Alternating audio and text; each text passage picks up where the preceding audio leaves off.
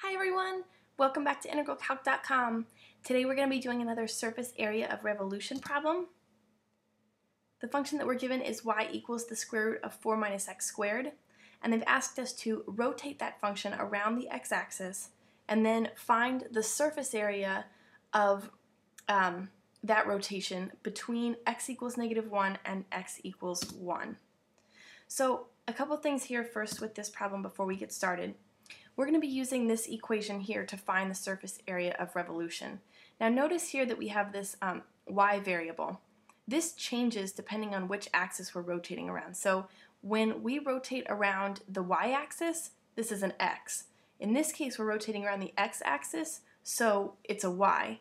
Um, everything else stays the same. So um, what we're going to do is take this formula, we're going to start with what's inside the square root here because this is the most complicated part of our formula.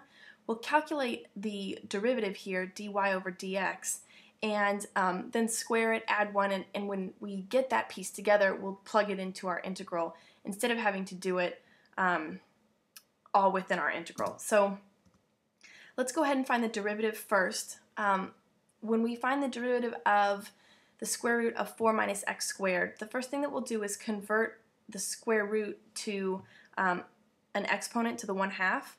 Um, the square root of something is the same thing as that thing to the 1 half power. So I've just gone ahead and converted it to 4 minus x squared to the 1 half. So nothing's changed, we just um, changed the format. So now that we've done that, it's easier to find the square root because um, using chain rule, we first treat um, this 1 half power is part of the outside function. This 4 minus x squared is the inside function. So remember with chain rule that we first take the derivative of the outside, and that means that we'll multiply this 1 half exponent out in front to get this 1 half as a coefficient, and then subtract 1 from the exponent. So 1 half minus 1 gives us a negative 1 half exponent here, and we leave the 4 minus x squared completely untouched um, for now. But then chain rule tells us that we have to multiply by the derivative of the inside function. So the derivative of 4 minus x squared is a negative 2x. That's the, the derivative of the inside. So we multiply by the derivative of the inside function and therefore multiply here by negative 2x. So now we're going to simplify everything here to the right of the equal sign to get our derivative. Notice that we have a 2 in the numerator and a 2 in the denominator, so that's going to cancel and we'll be left just with negative 1 here.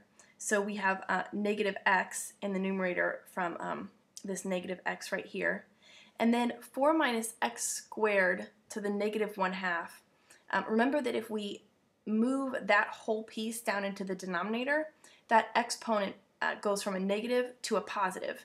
You can um, flip-flop um, a term um, from the numerator to the denominator of a fraction and back again, and all that changes is the sign on the exponent. So because we've moved it from the numerator to the denominator, we change the sign from a negative to a positive. So we end up with 4 minus x squared to the 1 half, to the positive 1 half, um, in the denominator. And remember that anything to the 1 half is the same as um, the square root of that, of that term. So um, this 4 minus x squared to the negative 1 half is the same as the square root of 4 minus x squared. So that's how we end up with that in the denominator. And then um, now that we've calculated dy dx, which is this component here of our formula, we can go ahead and plug it into our formula and um, start simplifying within the integral. So they've asked us to evaluate between negative 1 and 1. So we plug in negative 1 for a and 1 for b here as our limits of integration. And then we leave 2 pi alone. Um, for y, remember our original function is y equals the square root of 4 minus x squared. So we plug that in for y here. And then within this square root sign, um, we leave the 1 alone and we just take the derivative dy over dx that we found here and um, plug it in to our formula, leaving the um, squared exponent and dx. Um, the next thing that we'll do is simplify a couple things. First of all, we'll pull 2 pi out in front of the integral because 2 pi here is a constant. It's like a coefficient on um, everything else that comes after it. So it can just pop right out here in front of the integral to make um, integration simpler for us down the road. This square root of 4 minus x squared will stay the same.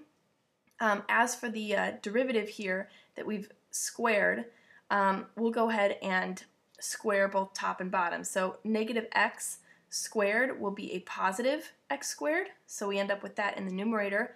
And then because we are squaring a square root in the denominator, we'll just end up with what we have inside of the square root sign, which is 4 minus x squared. And everything else um, drops away. So now that we've uh, now that we've simplified that, remember that we had a 1 plus x squared over 4 minus x squared? Well, we want to find a common denominator within the square root. So we change the 1 to 4 minus x squared over 4 minus x squared, which of course reduces to 1, so it's the same thing, but it gives us a common denominator with the second term under our square root sign. And once we've done that, we can combine those two fractions. So 4 minus x squared plus x squared means that the x squareds are going to cancel, and we'll just be left with this 4 here in the numerator. And then of course we have 4 minus x squared in our denominator. Now, um, this is a, um, a technique of um, algebra. You have a square root sign over a fraction. Well, you can break apart that square root and take the square root of the numerator and the denominator separately. So that's what we've done here. We take the square root of the numerator.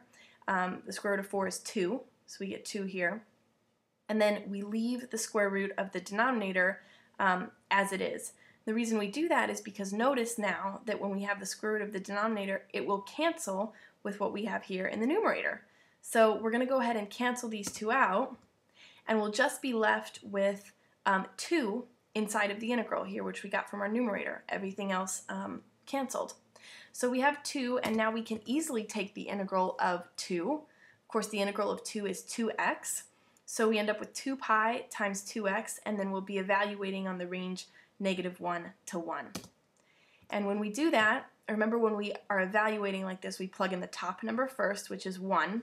So you can see we've plugged that in here for x. And then we always subtract in the middle and then plug in the bottom number, which in our case is negative 1. So we plug in that negative 1 here. And then um, to simplify, um, inside the parentheses here, we'll end up with 2 plus 2 because we have a double negative here, so that gives us a positive, um, which will be 2 pi times 4, which gives us our final answer of 8 pi. So 8 pi is the surface area of the revolution of this function around the x-axis between x equals negative 1 and x equals 1.